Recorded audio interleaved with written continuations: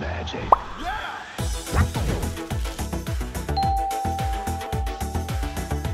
Hei og velkommen til ukens fredagstips.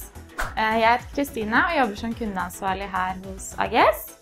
Og denne uken så skal vi vise deg hvordan du kan få bytte søkemotor i den nye Microsoft Edge-nettleseren. Nå skal jeg vise dere hvordan vi bytter søkeleverandør i den nye nettleseren i Windows 10, Microsoft Edge.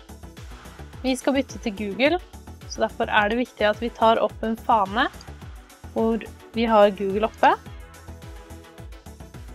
Videre så klikker vi på disse tre prikkene her, øverst i høyre hjørne. Vi går ned til innstillinger. Vis avanserte innstillinger.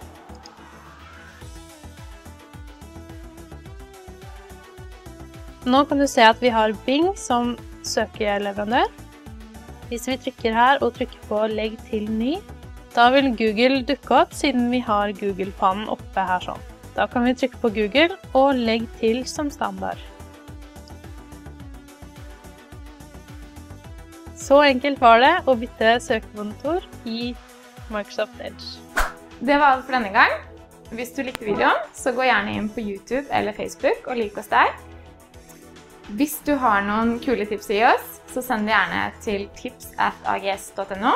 Eh, trenger du noe support, så send det til support at ags.no.